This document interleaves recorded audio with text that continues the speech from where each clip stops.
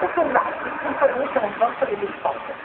Rose sfumate nell'avorio e nel fucsia si abbinano ai volumi degli nuvoli di fumo e tessuti delicati sono su tono.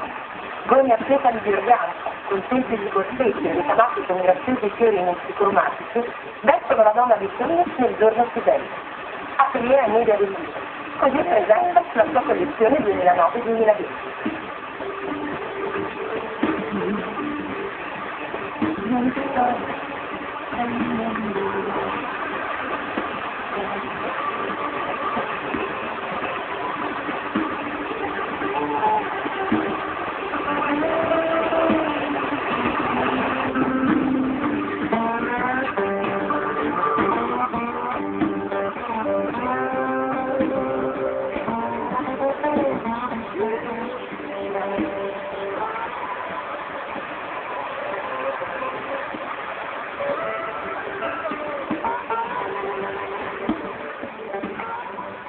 Adrienne veste la donna che nel giorno delle nozze si immagina destinare il lungo e su piedi.